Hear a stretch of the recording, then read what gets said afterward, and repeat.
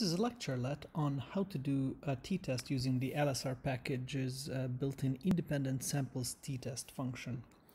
Um, there are a couple of gotchas in this uh, in this video that I want to uh, highlight.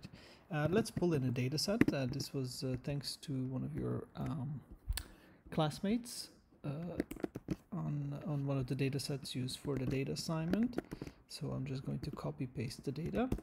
Uh, if we take a look, uh, we can see that this data set has quite a few columns. Uh, we want to do the um, the uh, test on total tests column and um, um, the total tests is our dependent variable and uh, region we're gonna pick two regions uh, will become our categorical variable or the, or the two levels of our independent variable. going back to the data here, um, we're now going to load the um, the LSR package. Make sure that it uh, runs and no spits out no error.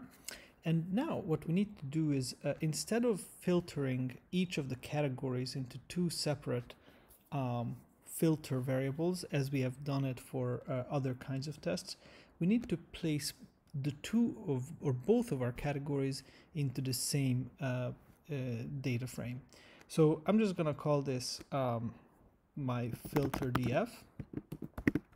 And uh, here we're going to use the same kind of scheme as we used for other kinds of subsetting. So uh, we specify the, uh, the name of the data frame.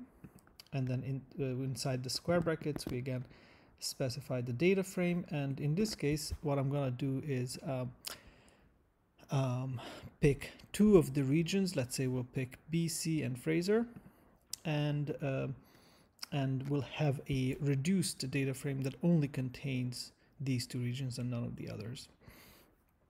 So DF region, uh, we want to specify Fraser, and there's this kind of operator which we have not used, the vertical uh, um, uh, line, which is uh, the button that you use with shift and the button that's located above your enter or return key on your keyboard. Uh, and this means or. So we want to uh, specify that we want uh, every region that is a Fraser or BC and uh, we close it with a comma. And when we run this variable, we can take a peek at it and you can see that now we only have regions of Fraser and BC. So uh, you will have to do this in your data set too. In many of your, in many cases for your data set, you're going to have more than two uh, groups, but for the purpose of this class, you can only compare two groups. And so for this reason, we need to discard every uh, other uh, category that may appear in your data set. Once we have this, um, there's something to check. We want to make sure that the class of the new uh, filter uh, df is uh, a factor. So when I run this, it shows up as a factor. If it's not a factor, then you need to run something like this. You need to specify um, your uh, data frame and your column. Uh, like so. And you need to make sure that you assign it as a factor. And so when you run this and you run class again you will definitely get a factor as your uh, as your uh, output. Uh, another thing to check is levels. So when you run this on your column and we don't need the class inside this so just levels. It tells us all the levels of the of this factor variable. And you can see that everything that was there from before in the original data frame including interior northern etc etc are still there.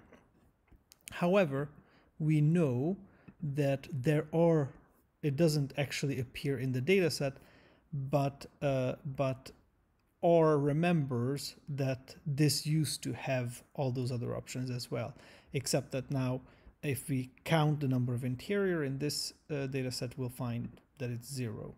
Nevertheless, it's going to, uh, when we run the t-test, we're going to get a warning because uh, because the t-test is going to say that, oh, there are actually more than two levels and the t-test won't work for that. But it will still do the test, but there will be a warning about it. So just as a as kind of a, something to anticipate.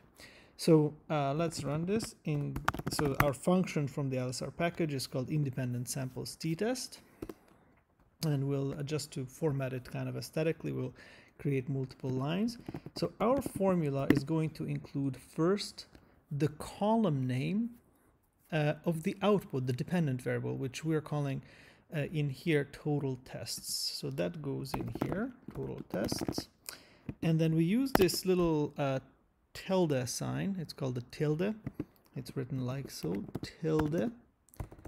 And you can find that button um, uh, usually to the left of the one key. And you need to often use the shift. Shift and that button to produce this tilde sign. Uh, and uh, after the tilde, we specify our categorical variable, our grouping variable. And in this case, the name of that is region. And then comma, and in the new uh, line, we specify our data source. And our data source is going to be this filter df, which we've created with the two categorical variables. And finally, uh, we can specify whether we have equal variance in this data set or not when you check your data set, you're going to uh, run one of the tests that you'll run is uh, the Fmax test. And if the X, Fmax test exceeds uh, 3.0, then you know that you have an issue with, uh, with homogeneity. If your data is heterogeneous, then you need to say that you uh, that this is false. Uh, and or if if you do have homogeneity, then you can state that it's true. Uh, for now, I didn't check uh, any assumptions on this data set because I just wanted to show the t-test only. And I'm going to assume that variance is equal, but don't assume it for the data uh, project. So when we run this, uh, just as we anticipated, we got the warning message that message that uh, that this uh, factor variable actually is more than two levels. But that's okay. We can just scroll up and we can see the output of our student t-test and you can see that uh, we've got uh, BC and Fraser compared. We have the means for each of them and standard deviation, and we've got this t statistic as the 9.37 and a p-value that's highly significant at the 99.99% level. Uh, or a p-value of less than 0.01. So that's this is a really good uh, significant result. Although for the data assignment, it's not necessary that you have a significant result, but it's certainly very rewarding and satisfying to see something like this. So this is the t-test using the LSR package uh, briefly.